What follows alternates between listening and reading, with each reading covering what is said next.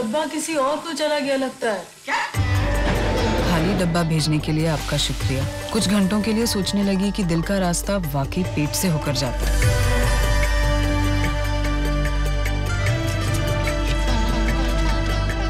मुझे लगता है अब हमें मिल लेना चाहिए।